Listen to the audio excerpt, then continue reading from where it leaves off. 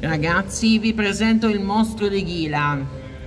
Questa lucertola vive nell'America sud-occidentale nell'America sud-occidentale, nel deserto di Sonora, uno dei, dei, luoghi più aspri al mondo.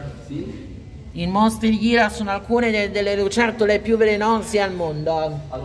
Hanno, hanno una mascella forte e un mosso potente, ma soprattutto delle mascelle forti con una chiave a pappagallo. Loro non possono mantenere la presa per tutto il giorno. No. Per un mostro di ghira basta un pasto composto da tre uova e sarà sazio per tutto l'anno.